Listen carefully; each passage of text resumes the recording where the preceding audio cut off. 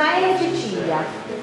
Poi la volta dopo fanno loro i solisti. Poi però chiuderemo tutti insieme, perché se non state attenti rimane lui da solo a cantare e va di voi e loro che invece sono attenti, tre, li fregheranno subito. Eh? L'incontro fra i bambini e gli afasici diventa un momento per vivere delle esperienze generative, per gettare anche le basi di quelle che potrebbero essere le basi del volontariato futuro, no? un terreno fertile, l'humus, su cui seminare i futuri volontari di domani.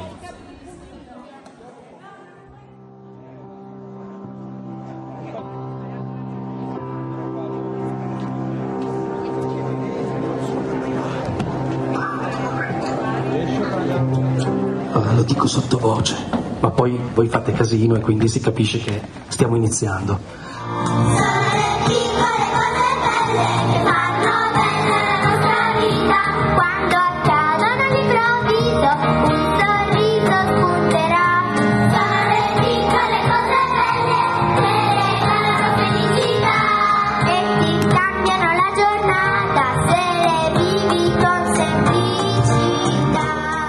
Abbiamo veramente chi si affaccia a questo mondo da, da poco e chi in qualche misura sta rinascendo, grazie soprattutto anche alla musica e al canto.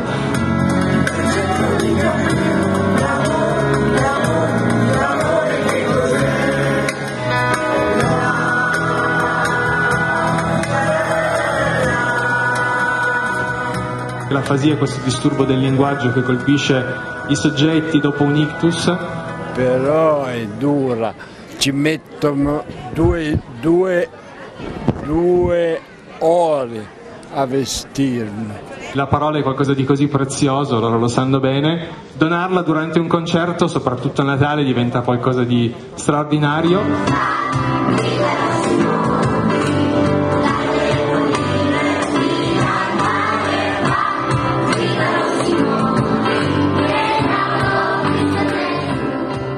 Noi sulla spinta emotiva riusciamo a, a unire un suono, una sillaba, due sillabe quindi una parola, due parole, tre parole, sempre con il ritmo, con l'intonazione.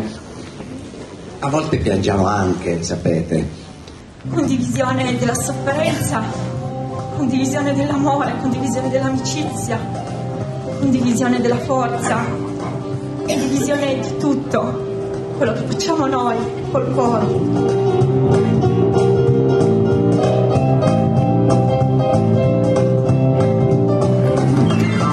Tutti amici, siamo insieme, che, che ci facciamo?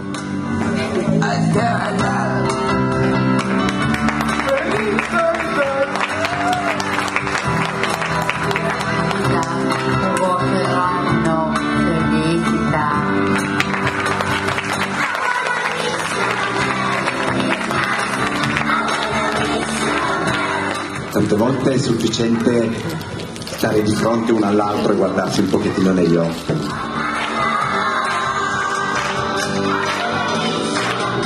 Impariamo tanto uno dall'altro. Poi si scherza, facciamo anche cretino.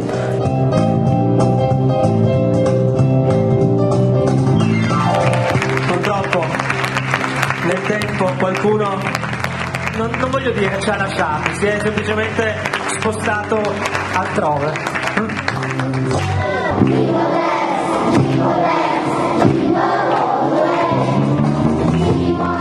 Mio fratello vi descriveva come persone veramente speciali. Io so che Enrico tutto il pomeriggio che sta cantando con voi. E